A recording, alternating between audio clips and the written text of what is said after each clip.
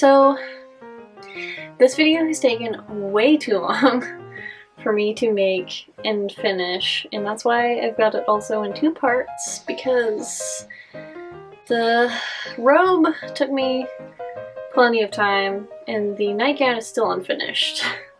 so the nightgown just has been fun for various reasons. I'm not really sure why, actually. It's really just because I started this project and the nightgown project right the beginning of December, so and like end of November. So holidays have been busy and all that. Now that it's January, I've had time to finish them. I mean, this this guy I've had finished for a little bit. And let me just say, I love it. I'll talk a little bit more at the end about this pattern and the fabrics and all that stuff. But for today, enjoy this witchy cottage core gothic frilly Laura Ashley robe sewing pattern vlog. No.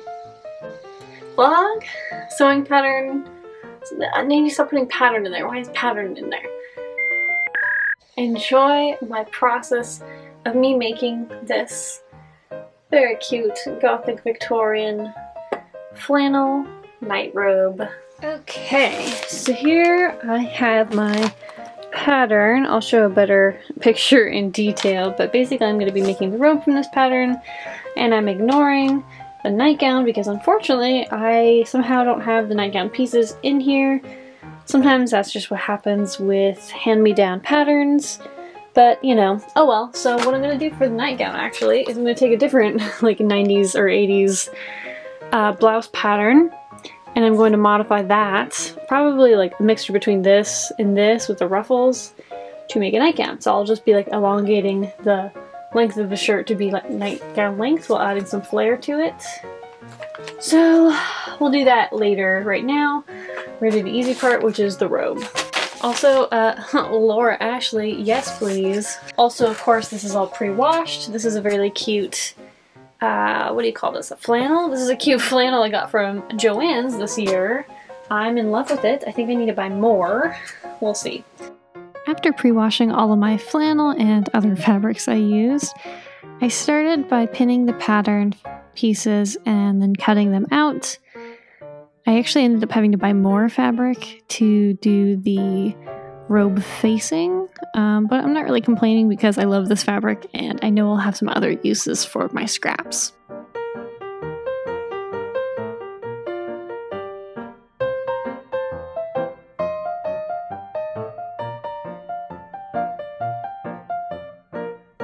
Okay, so I'm still cutting stuff out, but for right now I couldn't decide because there's um, there's a ruffle around the neckline and there's a ruffle on the pockets, the top of the pockets. And I can't decide if I want to use this that I have, I think, just enough to do the collar or the lapel on the neckline in the pockets and potentially the sleeves. Um, I think I think there's plenty of that enough for it. I know there's at least three yards, maybe a little bit more. Um, so I'm just gonna wait on cutting out the ruffle pieces to just test out how I feel about everything else. And then the other thing that I got to the point of is um, there's a little piece that's the belt carrier. It's like the belt loop. I thought this was going to make me cut out a bunch, but it looks like there's only one and that's going to go in the back of the garment, I'm guessing. So I'm more inclined to do it now. I was going to skip it, but after looking at it, it looks like there's only one rather than like four or however many. So that's kind of where I'm at, just cutting out. I haven't cut out the sleeves yet either. So I'm going to cut out these pieces, the pockets. There's like an under collar. And let's see what else. Pocket facing. I'm going to cut those out. Cut the sleeve out. Sleeves out. I might modify the sleeves. There's there's other pieces. I have a whole I have a whole thing over there of other pieces I need to cut out. So I'm going to do that, and then I'm going to come back and see where we're at real soon. so right now I'm about to cut out the sleeve. I have it all pinned, but um, I do actually kind of want a slight puffed sleeve. So I'm going to add like quite a curve up to the top Um, I think maybe I'll draw that out in chalk and then cut out and then I will show you how much I added if that makes sense.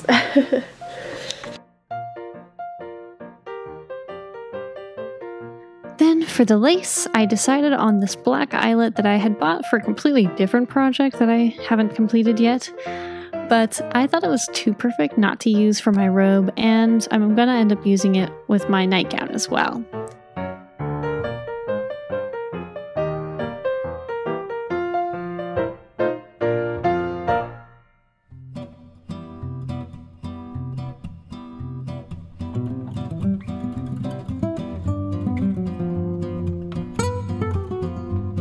After I cut out and prepared all my lace pieces, I started working on the pockets. They're kind of the standard patch pocket, except for the inserted lace embellishment that is gathered and sandwiched between the pocket and pocket facing. And then after finishing that, I top stitch the pocket facing, raw edge down, and then place it where the pattern indicated onto my robe fronts lining up a raw edge with the raw edge of the side seam, but sewing down the opposite edge and bottom edge of the pocket. It's kind of a strange construction. I've never really seen that before. So I'm basically encasing the one of the sides of the pocket inside the side seam of the robe. Kind of strange. More lace gathering and then pinning and sewing this lace to the robe's collar edges.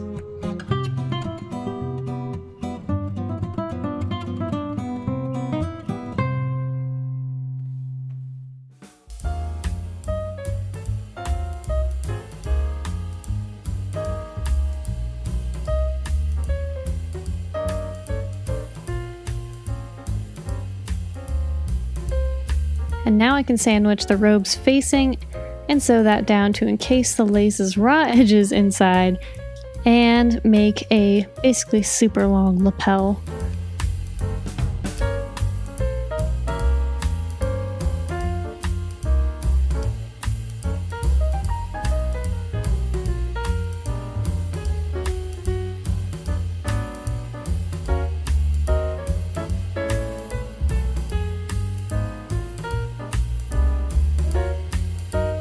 Okay, so I've just cut like this big chunk away from the shoulder and like partially the side of the robe. Um, it was way too big on me and like for reference I wear like usually a size large in tops. And my boyfriend wears size double XL and the robe fit him perfectly and was like basically I'm wearing my parents' clothing as a three-year-old size on me, so um, I did some drastic cutting.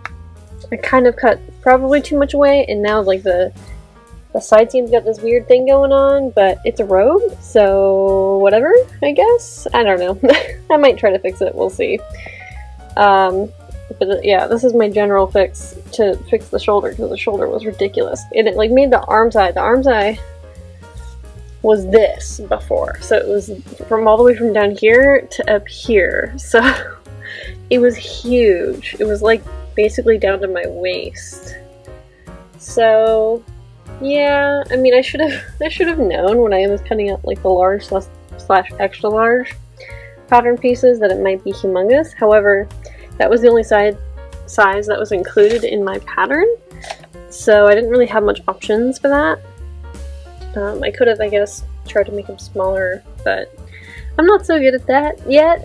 I'm still learning, so yeah, here we go. So I'm just gonna finish doing the French seaming on the sides here, and then insert the sleeves again, and French seam everything.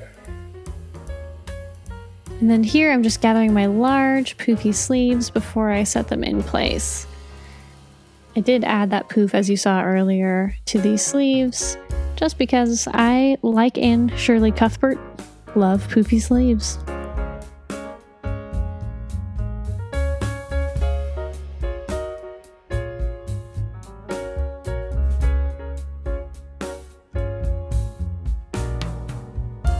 I gave myself a very generous hem to help weigh down the robe and to avoid cutting and discarding more fabric than I really needed to.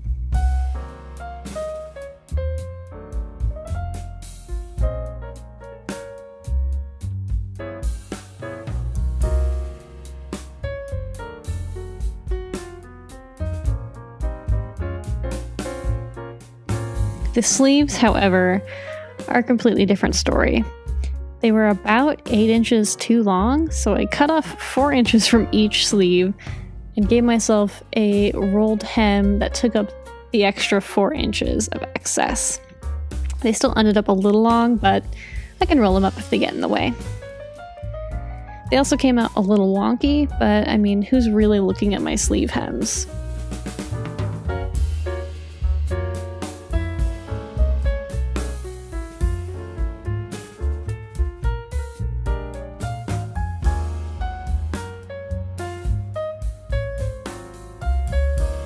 Little belt loop I mentioned earlier? Turns out you actually cut one out and then turn it into a little spaghetti noodle that you cut in half and sew down uh, at both side seams. Well, at least that's what I did. I can't remember if this is what the instructions say to do because at this point I was just kind of full chaos sewing mode.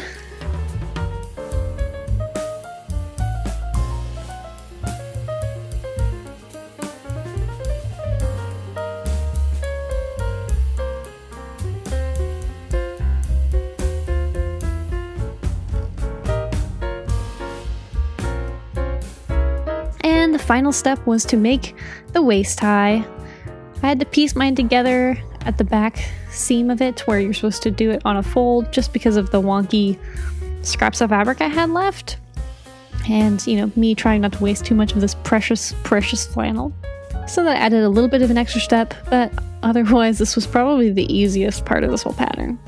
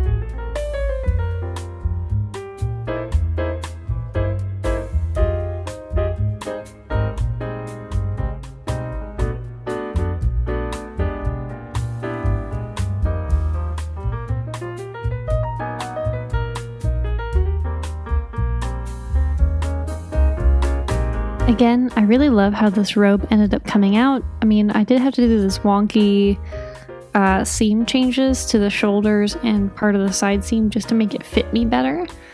But if you saw this pattern in a thrift store and antique store, I would highly recommend grabbing it. It's such a cute pattern, and like, who can deny? Laura Ashley.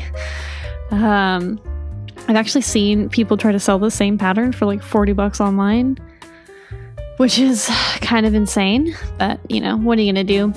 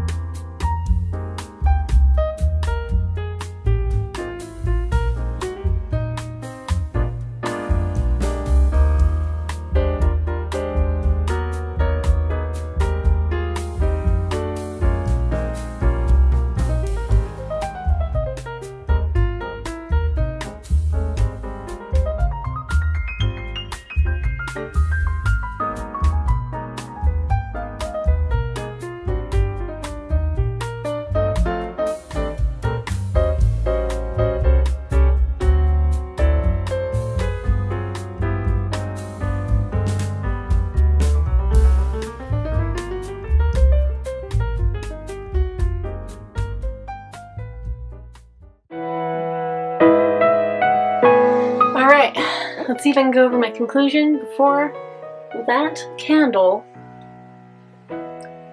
spontaneously combusts and just, I don't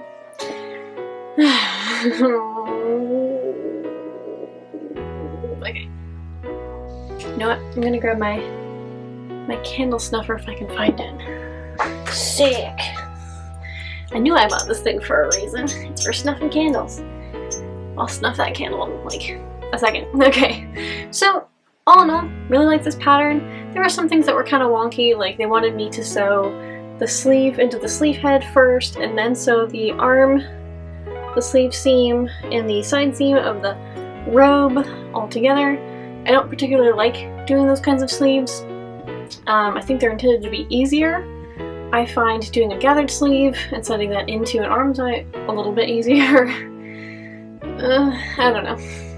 You know, this is actually, I don't know if I've mentioned before, but this is Joann's like Halloween flannel fabric and I love it. I'm currently really warm though. it was cold earlier and now I'm like way too hot. Which is part of the reason why I wanted to make my own robe is because I've been stealing my boyfriend's robe, which is like a thick fleece, like minky style robe, and it's just so warm. And so this is supposed to be kind of like a all year round robe, but combined with the pants, I'm like, I'm baking alive here. But all in all, love this. This is actually lace I bought on Amazon. Um, if you really want, I can give you a link to this eyelet lace. I prefer not to, because like I don't really want to support Amazon despite the fact that I still buy stuff from there. anyway, I do want to add in some like poof supports into my sleeve heads. I'll do that when I decide to stop being lazy. It'll happen one day, I'm sure. And um, I actually have a shirt that I cut out that matches all of this because I had a lot of excess fabric that I'm waiting to work on because, I don't know, I get excited and I cut things out and then I don't work on them. Nightgown is coming soon. I'm still working on it.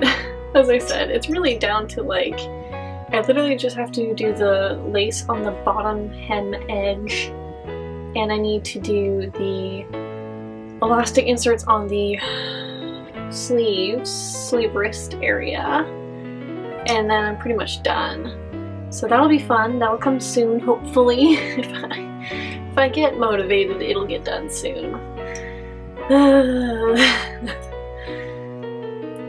Other than that, I have another video that I'm working on that I hope I will get done before January ends. It's currently like the 16th, so we'll see. and I hope to do at least one other video before February starts, and my birthday's in February. And I actually am planning on making two dresses because again, I'm insane. Um, one's like a Valentine's dress though, and it's very like vintage inspired, and the other one is more of a cottage core inspired dress. I'm sorry, the cat is doing something strange. She was wiggling her little paw in the air. Lucy! Hmm. Anyway, I hope you all enjoyed. If you have any other ideas for like cute, witchy, Victorian Gothic, cottage core, sewing and or crafting videos that I could do, let me know down below. I'd be interested. If you liked what you saw, give me a like and subscribe. It really helps me out and it's free. free money 99. um, it really does make me quite happy when people subscribe and give me likes and stuff it makes all the effort that I put into what I do so worth it. but anyway, thank you so much again. Stay creepy, everyone.